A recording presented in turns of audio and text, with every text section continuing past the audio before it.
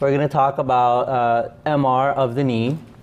Uh, first and foremost, before I begin, MR of the knee is a broad topic, so what we're going to do is hit some highlights and focus on the things that you're going to need as you practice. First off, we're going to talk about protocol, the menisci, the cruciate and collateral ligaments, patella and its surrounding structures, the bursas of the knee, cartilage pathology, and the bones. First, uh, protocol. So there's a million ways to image the knee, and it's mostly on preference. You can go on a different university and they'll have a different protocol. Some might even have fat suppressed images only, basically on preference and depending on how you practice and the kind of population that you have. Most agree that there's dedicated surface coils that you can use uh, to better image the knee. And the parameters are again pretty much standard throughout, except that some people or some universities or uh, imaging centers will focus on the positioning. Mostly here at the University of Washington, we have a five degree external rotation. This is in line with the uh, anterior cruciate ligament, which MR of the knee is sensitive for. The sequences that we use here, uh, we have five main sequences with the inclusion of a coronal T1 weighted image.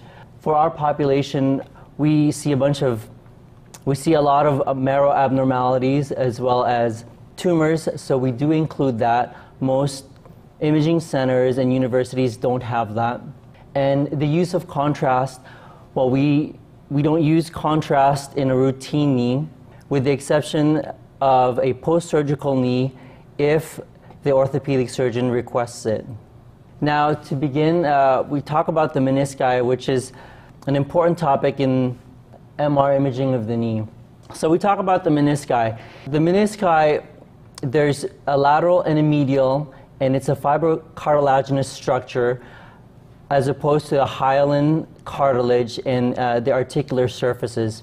It's C-shaped, and you can see the outline uh, in the image to your right, uh, the edges of the C-shaped meniscus, and as you can also see, it's a little bit thicker in the posterior aspect. In terms of anatomy, to describe the abnormalities, you have to locate where in the meniscus it is.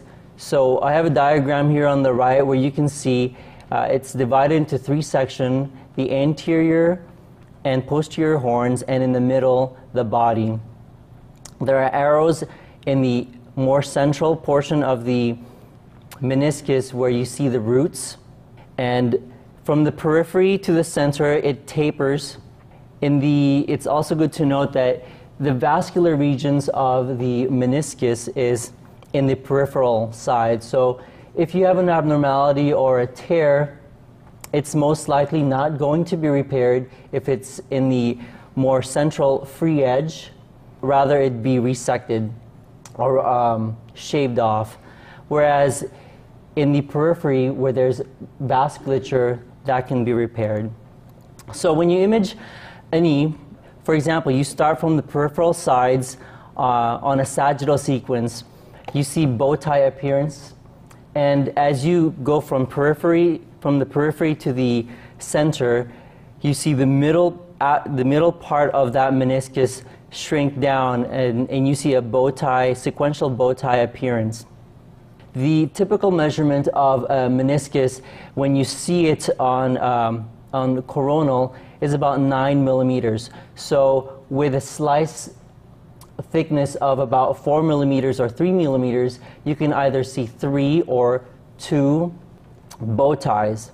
Keep in mind that the medial, uh, the medial meniscus, the posterior horn is much larger, sometimes one and a half times larger than the anterior horn, and when you look at the lateral side, they're equal.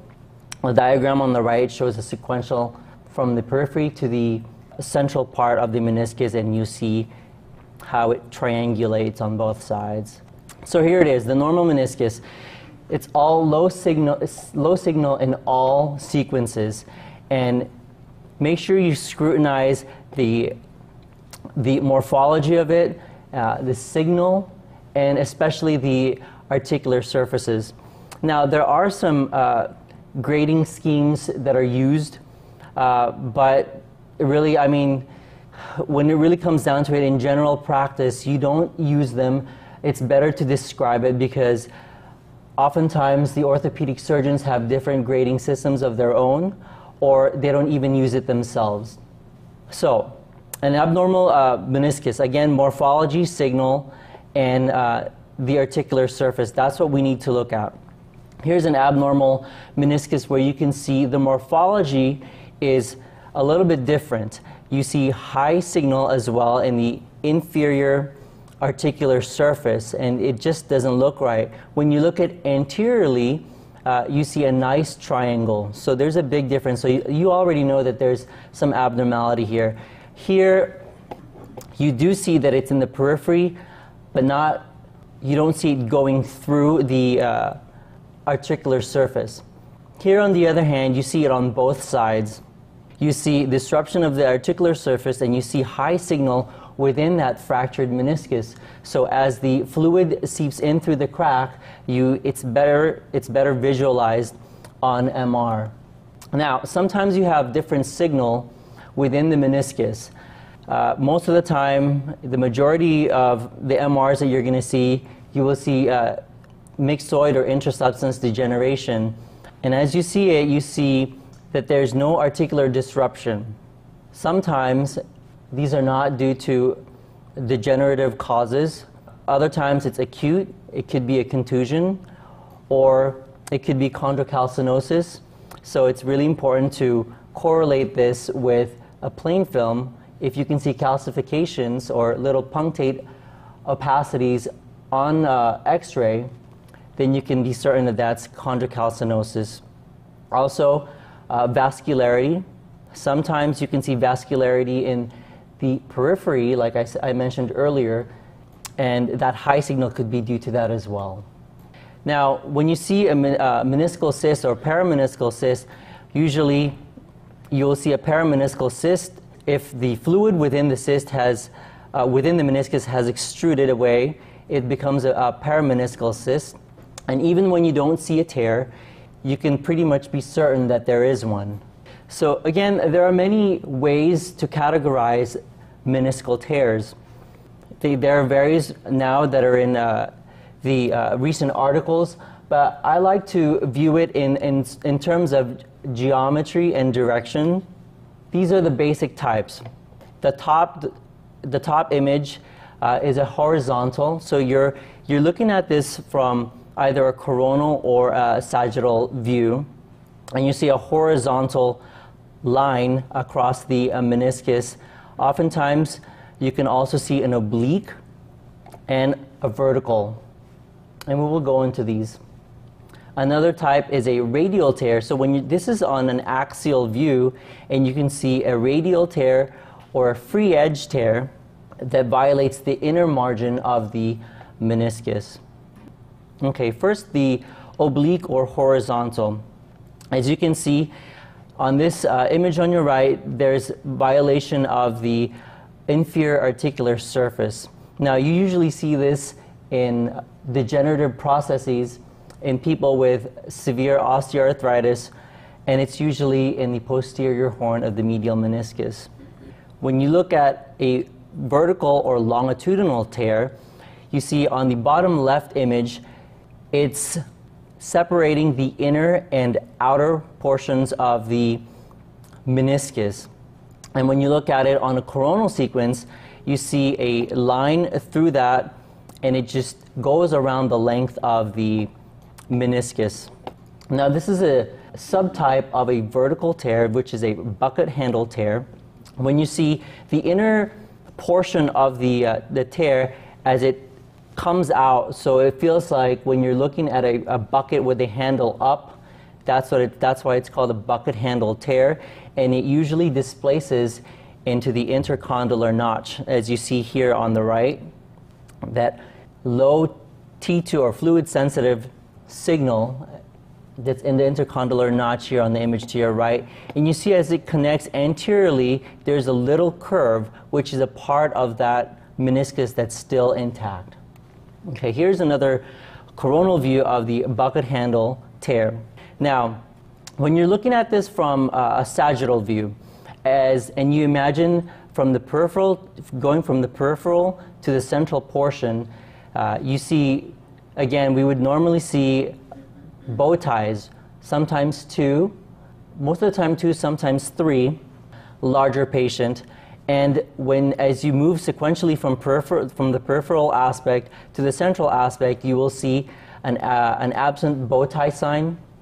And uh, again, you'll see that the, the inner, inner part of the meniscus has gone into the intercondylar notch.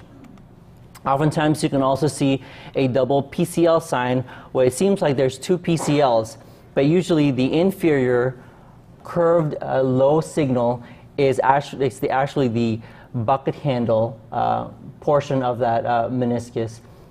Uh, the double PCL sign, though, is not uh, specific to uh, bucket handle tear. You can also see this in ACL tear, where the ACL has torn proximally and it is laying curved down, very similar to a bucket handle tear. Now, one thing that I, I do want to mention is that these have variations. So these can, uh, most of the time they'll displace into the intercondylar notch, but these, the inner piece can also displace anteriorly, where, where you call it an anterior flipped bucket handle tear, or it can displace posteriorly as well. So there are variations. So it's better to describe these so that the orthopedic surgeon can know how to treat it and have an idea before they go in to fix it. So free edge tears or radial tears, they can be partial or full width. Uh, as you can see the, the illustration here, just imagine uh, that you're going from the periphery again and centrally, uh, you will see a little nick in the bow tie where it separates too, separates too early. Sometimes when it's a full, uh, full width tear, uh, you can actually see that there is no bow tie when you look at it in the sagittal sequence. Here's an example of a partial width free edge tear or radial tear. As you can see now, uh, this is more located in the anterolateral more anterior body, at the junction of the anterior body, um, anterior horn and the body. So when you look at this on a sagittal uh, sequence, most likely you're not going to see the uh, cleft, but on an, on an axial sequence, you see that there is a tear. Now, um, this can also uh, have a variation. There's a uh, tear called the parrot beak, where there's a radial tear and that extends into a longitudinal or vertical tear. Uh, unfortunately, I don't have an example of that. Here's a full width radial tear. Uh, and on the axial image, you can clearly see that there's interruption of that meniscus. Now, when you look at it on a coronal, uh, when you're parallel uh, to the tear, and you'll basically see nothing. It'll be a ghost meniscus where where you would expect to see one. What happens when you have a, a, a complete or full width radial tear? Basically, you lose the tensile strength of the, uh, the cartilage. So the hoop strength of that, uh, car, uh, sorry, that meniscus has you've already lost it, so it extrudes. So you can see here on the image on the right, it's off of the tibial plateau. That's how you can diagnose extrusion of the meniscus. You base it on the tibial plateau. Here's another uh, variation of uh, a tear where you see that the inferior margin has been violated, but the actual flap piece has migrated medially. So this can be missed during arthroscopy when, a, uh, when the orthopedic surgeon looks at this. Sometimes when uh, the free edge is intact, they won't be able to see uh, the actual tear. So it's good to mention these when you see them on MR. Also, um, I included the meniscocapsular tears uh, into this section because there's supposed to be a, uh, a uh, connection between the medial collateral ligament and the body of the uh, medial meniscus. When you see a separation like that, and you see high signal in between the two structures, you know that you have uh, meniscocapsular tear. And again, uh, it's important to scrutinize uh, that it's that there's fluid signal in between all the parts of that uh, that articulation. Otherwise, uh, sometimes when there's a short portion tear, um, it's usually not clinically relevant or significant.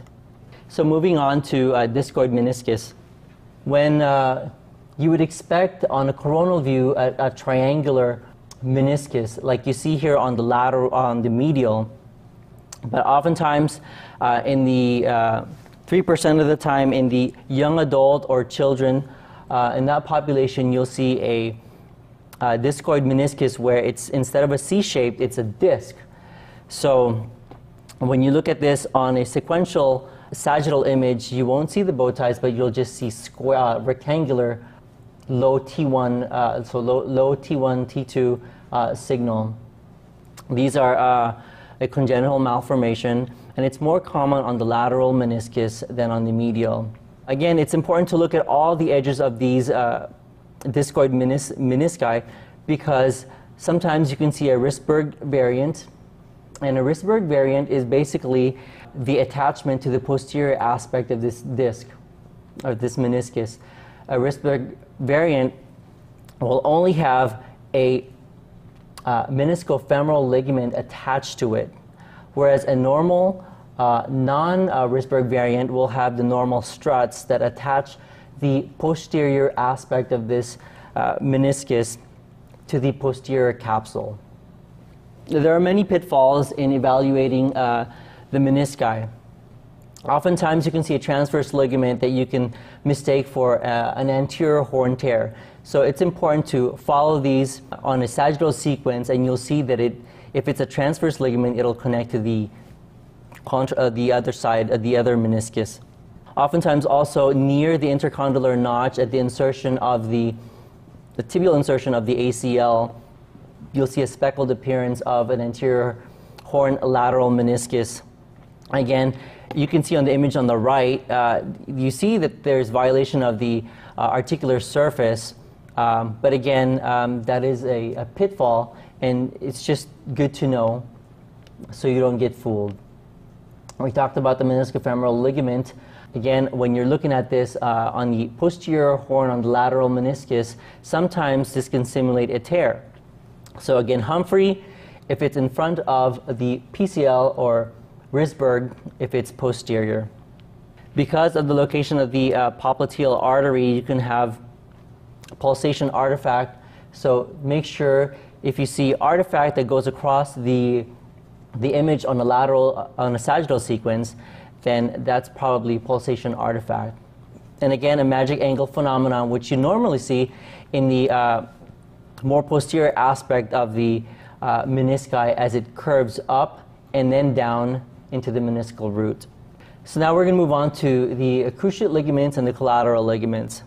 So the anterior cruciate ligament, a normal anterior or ACL or anterior cruciate ligament uh, is parallel to the intercondylar notch, uh, the roof of the intercondylar notch. And you normally see a low signal striation interlaced with high signal. And it's slightly oblique. Again, uh, we image the knee in a, a five, five degrees external uh, rotation. It's like putting your hand in your pocket. Okay, that's the direction of the ACL from the femur to the tibia. So you can have a partial thickness or a full thickness tear. Oftentimes when you have a partial thickness tear, that's not repaired and conservative management um, is what the orthopedic surgeon chooses. If it's a full thickness tear, then um, that's most likely going to be surgical depending on the patient's activity level. So in uh, ACL tear, you see either uh, discontinuity of the ligamentous fibers or sometimes you can just see laxity. Remember, if, it's, if the ACL is lax, then it's not providing stability. Oftentimes in uh, traumatic acute trauma, you'll see a fracture um, and uh, the distal insertion of the, uh, ACL, t- uh, ACL uh, will be attached to a, a fragment, a bone fragment. In, in the ACL, you can also have intrasubstance degeneration. Most of the time, you'll see abnormal signal, high uh, fluid sensitive signal, sometimes, uh, most of the time, intermediate, but you'll still see an intact fiber. You can see here in both the um, uh, sagittal PD and uh, T2 that there are some intact fibers in there, but there's too much signal. Uh, most of the time, you will see this in the uh, older patient. Okay, there are secondary signs um, that tell you that indicate that there may be an ACL tear. It's really important to pay attention to the uh, bones and to see if there's high signal on T2 so you can locate these contusions. It'll signal that there's some abnormality. This is a typical pivot shift contusion that you see on your right. And actually, you also see a lateral femoral uh, notch sign where there's a sulcus that's deep, okay? Uh, oftentimes when you measure it, it's usually more than two millimeters in depth. This will signal that there might be, uh, most likely, uh, an ACL tear. Another sign that uh, you can see is that the anterior tibial translation. You measure the posterior aspect of that um, lateral femoral condyle um, and the distance between the posterior aspect of the uh, posterior aspect of the lateral tibial plateau. If it's more than seven millimeters, then uh, you can suspect that there's an ACL tear. So when the orthopedic surgeon uh, does his clinical exam, and then there's an anterior drawer sign. Uh, this is basically our imaging version of that. Um, oftentimes, you can also see a buckled PCL, obviously an effusion, and sometimes uh, a Segond uh, fracture, which is when you see that, uh, most likely more than 95% of the time that there'll be one, an ACL tear. We often image uh, a post-surgical knee and uh, ACL graft evaluation uh, is really important. Now, it's important to note that when they do uh, uh ACL repair, these are hard, the actual graft is uh, harvested from the patellar tendon or sometimes the hamstrings tendon. And you want to make sure that the graft is taut and it and that it's parallel to the intercondylar, the roof of the intercondylar notch, as you would see a uh, normal uh, ACL. So when they do the operation, they actually do this in uh, a flexion uh, position, so a flex knee. And they divide the uh, tibial plateau on a sagittal view into uh, quartiles. Okay, and in the second quartile, that's where they put the Uh, the uh, tibial screw or the tibial tunnel so that it can be parallel to the roof of the intercondylar notch. And when you evaluate these, sometimes you can be fooled by the signal. Oftentimes, this can be a heterogeneous or intermediate signal, and that can last for approximately uh, two years. Here's an example of a lax ACL graft, and you see that if it's lax, as in a native ACL, uh, it's not providing stability. Sometimes if the tunnel is too steep, uh, as they flex the knee, they can impinge the graft. And obviously that's more prone to injury and we know that that graft won't last. Of course, you're not going to mention that in your reports. Probably the orthopedic surgeon won't send you any more patients if you do that. Another thing that you want to watch out for are what they call cyclops lesion. They're called cyclops because it looks like an eye in the middle of the knee on the coronal, coronal uh, sequence. So here it is. It's actually scarring of, of the uh, surrounding tissues. So when the surgeon goes in there, obviously there's going to be some scarring and fibrosis. And these cyclops lesion or arthrofibrosis can cause uh, pain and discomfort, especially when the patient extends the knee. A normal, normal uh, posterior cruciate ligament, again, uh, there's low signal, and it's us- it, you see a curved ligament that's attaching the uh, distal femur to the proximal uh, tibia. Now, uh, a PCL tear is not as, not as common as an ACL tear, And uh, for a radiologist, it's also a little bit harder in comparison to evaluating an ACL, simply because oftentimes you don't even see complete transection or uh, disruption of the ligament. Oftentimes it's only a thickened ligament with uh, intermediate signal. So it's, it's very diffi- uh, difficult to differentiate a full, full width or full thickness tear from a partial thickness tear. Oftentimes these are not repaired. We're going to move on to the uh, collateral ligaments. First off, when, you, uh, when there's a collateral ligament injury, there's a grading system. Now, this is more widely used. Okay, a grade one injury indicates a mild sprain or high signal, superficially, sometimes uh, deep or both, uh, to the uh, MCL. Grade two would be a severe sprain or a partial tear, and a grade three would be a complete tear. So a medial, uh, the medial collateral ligament, again, you see low signal on all sequences. It's an extrasynovial ligament, and again, the medial meniscus and the capsule are intimate to the uh, medial collateral ligament, especially in the, uh, when you image the knee on the coronal and the medial joint line, right smack in the middle of that meniscus. Here is an example of a grade 2 severe sprain, partial thickness. You can see that uh, there's high signal in this MCL, but you still see continuity of the fibers. You do see the fluid deep and superficial to the ligament. So this is a grade 2 partial tear.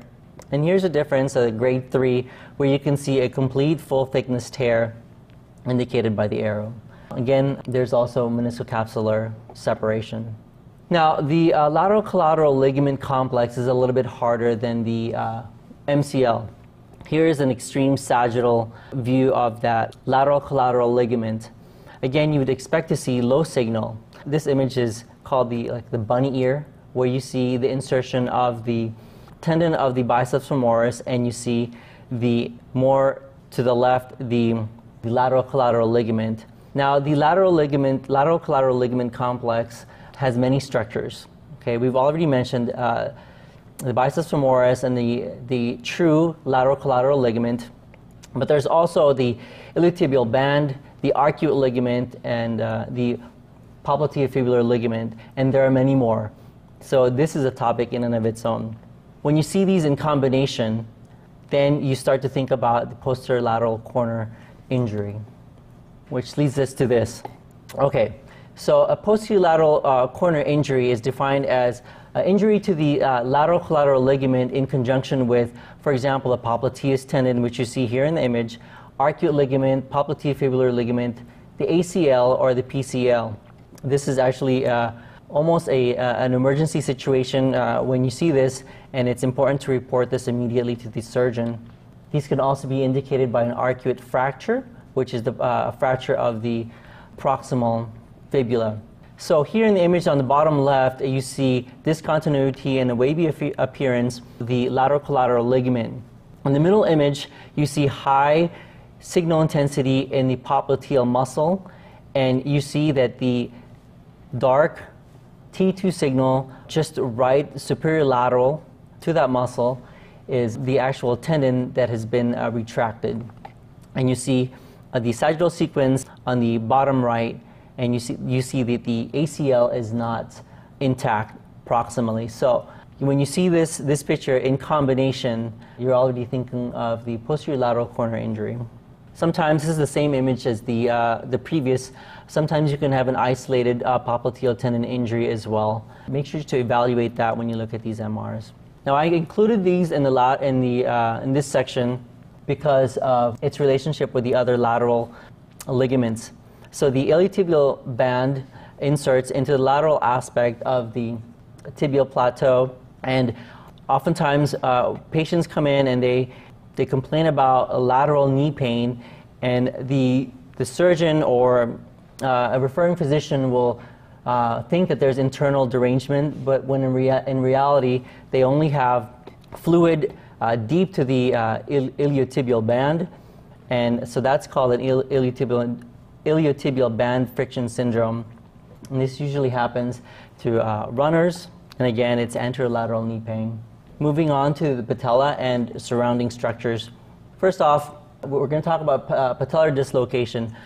It's really hard for the referring physicians uh, to diagnose these, especially because these dislocations reduce oftentimes on their own, so only half are detected.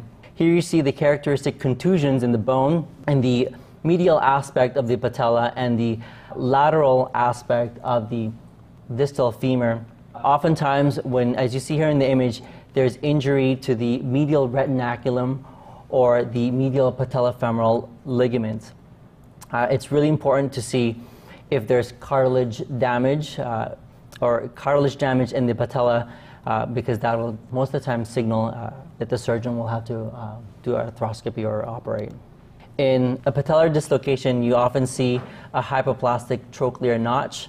So you see here on the bottom left image that the curvature of that trochlea uh, is very defined, whereas here on the bottom right, it's almost a straight line. Uh, the bottom right image also shows a contusion indicating that there has been prior uh, injury, most likely a dislocate, lateral dislocation of that patella. You can measure these, and the trochlear depth should be uh, more than three millimeters. So, oftentimes on the sagittal sequence, you'll see the patellar tendon, and again, it should be low, low signal in all sequences, and sometimes you see what's called the jumper's knee, where you see the proximal uh, insertion of this uh, tendon demonstrate high signal, and so oftentimes it's, it's, uh, there's an accompanying uh, bone marrow edema in the, in the inferior patella. Uh, you see thickening and increased signal, and that's called jumper's knee, and it's usually seen in uh, athletes, young athletes uh, who participate in, in jumping wherever they do in their sport. A mimic of this, although the pain is a little bit more superior, is um, suprapatellar fat pad impingement. Now you can also have this in Hoffa's fat pad, um, basically all you see is a signal abnormality in the fat above or below the, the patella, and uh, this can cause pain during flexion. Bursa, most important of these is the popliteal bursa, which we normally call the Baker cyst, and uh, it's important to note the location of this because it should be between the medial head of the uh, gastrocnemius and the semimembranosus muscle or tendon. Okay, these can cause compartment syndromes, and these, can, these are prone to rupture and cause inflammation in the surrounding tissues. So these can actually seep through the, the adventitia and can extend up above or below, can mimic a DVT. So it's important to note, especially if, it's, if the, the diameter is more than uh, one centimeter.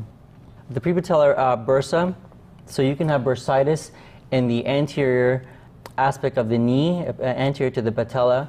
It used to be called housemaid's knee. This is caused by repetitive trauma from kneeling. And basically, you see, you just see a low T1, high T2 signal uh, or fluid collection anterior to the patella. Really easy to diagnose. Here's one that's not so easy. Um, the pes anserinus is basically the insertion of the gracilis tendon, the sartorius tendon and the semitendinosus tendon. And uh, I think pes anserinus uh, means goosefoot. Uh, supposedly it looks like a goosefoot. But in any case, it inserts into the anterior, anterior, uh, aspect of the distal, uh, distal uh, tibia.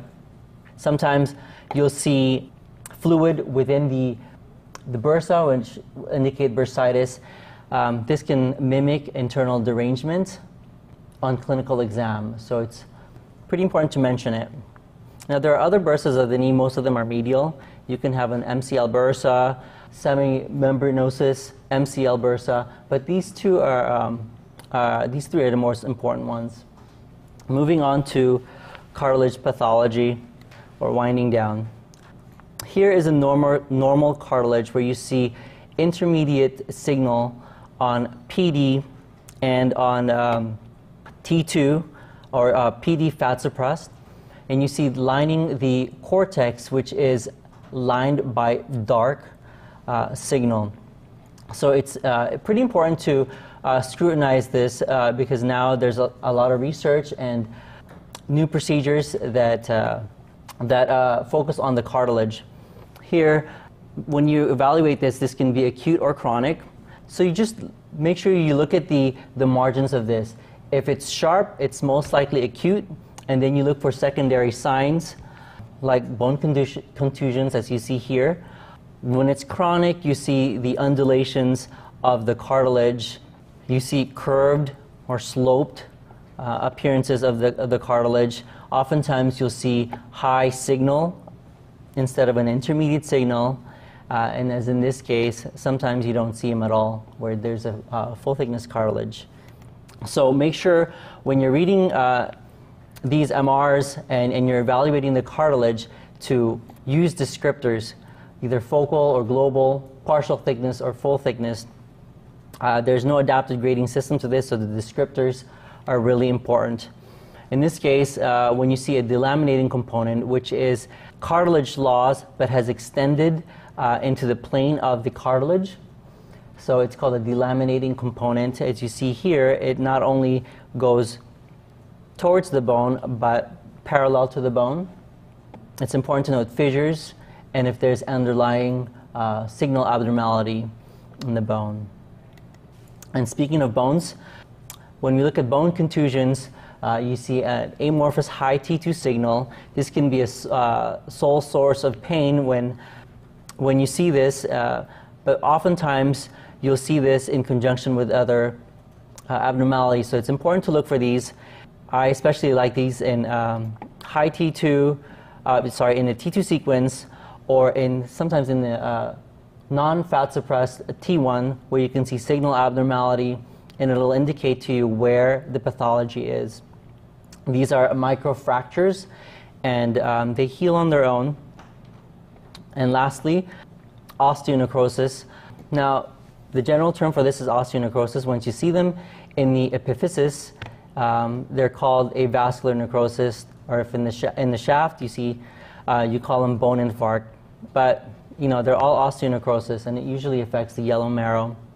The causes, uh, causes of osteonecrosis, there are many causes of these, and there's even a mnemonic. Um, but mainly, when you look at the, the history, you know, think about trauma, steroids, sickle cell anemia, collagen vascular disease, alcoholism, pancreatitis, and AIDS.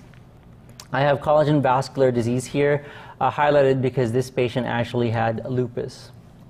Here is same patient on an axial image, typical of what you see, low T1 and low T2 serpiginous lines, and here you actually see the double line sign. Now it's not required for you to see the double line sign to call uh, osteonecrosis.